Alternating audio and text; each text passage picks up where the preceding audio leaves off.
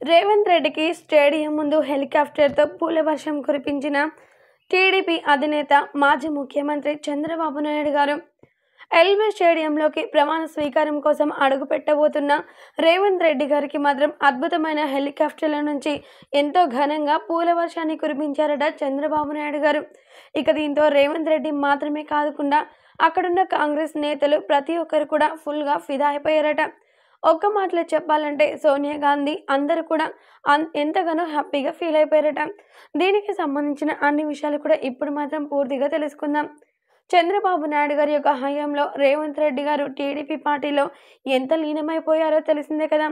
కానీ తెలంగాణ విభజన జరుగుతుందని ముందుగానే గ్రహించిన రేవంత్ రెడ్డి కాంగ్రెస్ పార్టీలో తెలంగాణ తరపు నుంచి నిలబడ్డాడు.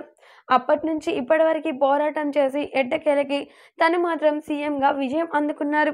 అయితే మరి సీఎంగా నూతన ముఖ్యమంత్రిగా తను మాత్రం ఎంతో అద్భుతంగా ఎన్నికైన తర్వాత ఎల్బీ స్టేడియంలోకి ప్రమాణ స్వీకారం కోసం అడుగు పెట్టబోతున్న సీఎం రేవంత్ రెడ్డి గారిపై ఏకంగా రెండు మూడు హెలికాప్టర్ల నుంచి ఎంతో అద్భుతంగా చాలా ముచ్చటగా పూల వర్షాన్ని కురిపించారట చంద్రబాబు నాయుడు గారు. ఇక ఆయన మాట్లాడుతూ ఎట్టకేలకి రేవంత్ రెడ్డి మాత్రం ఇప్పుడు సీఎంగా రావడం నాకు చాలా సంతోషకరం.